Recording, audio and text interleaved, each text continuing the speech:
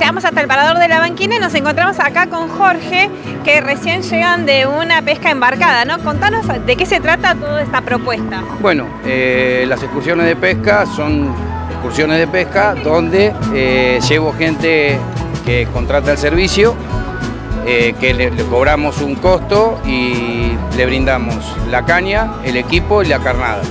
Recién nosotros podíamos observar que estaba llegando el bote. ¿A- a- ¿Hasta qué altura se meten dentro del mar? Mirá, eh, hoy por hoy estamos pescando a 7 kilómetros 200, pero igualmente eh, si vemos que en cierto tiempo no tenemos buena pesca, eh, movemos el bote a otros puntos. Bien, y, y contanos cómo, cómo arranca la excursión en sí. La excursión en sí, bueno, tendrían que venir hasta el parador, contratar, donde le pedimos los datos que nos pide prefectura para el rol de embarco, dejando una seña, eh, el horario es 7 y media de la mañana y en su defecto el de la tarde a las 12 y 30 horas. ¿Y hay que tener algún conocimiento previo para hacer esta excursión? No, no, no. O sea, yo después de que reparto los equipos eh, arriba del bote, pregunto si todos saben usar el- ese tipo de equipo que usamos nosotros, que es el reel rotativo, no es el normal, el frontal.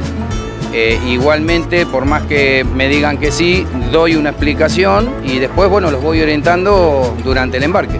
Bueno, y, y si uno tiene alguna mm, inquietud acerca de cómo es la seguridad, bueno, tienen todos chalecos. Todo, cada uno va con su chaleco, yo inclus- inclusive el mío. eh, tenemos las bengalas, tenemos la bengala fumígena, la bengala de fuego, de mano, eh, espejo, todos los, los elementos de seguridad que nos exige prefectura. ¿Qué duración tiene esta salida? La salida en sí es de cuatro horas, una marea. Así que hay que ir preparado. Hay que ir preparado, hay que cenar livianito, descansar bien, cosa de poder evitar eh, que se descompongan. Bien, entonces si tienen alguna duda se acercan acá y charlan con vos y le explica bien cómo se, de qué se trata Sí, esta... sí, sí, estoy, estoy yo, está Leo, está Juan Carlos, somos varios acá en el parador, así que con cualquiera que hablen le- los van a saber informar. Bueno, ya saben, para los amantes de la pesca, esta es una excursión casi eh, clásica que tienen que hacer todos los que llegan al partido de la costa, ¿no? Y nosotros, si, si es por nosotros, sí, que vengan. Pero bueno, vengan hay gente todos, a la ¿no? que le gusta y gente que no. Hay gente que, por ejemplo, se queda 10 días y embarca dos o tres veces porque ya son viciosos. Nos despedimos acá con Jorge, que les reiteramos del domicilio.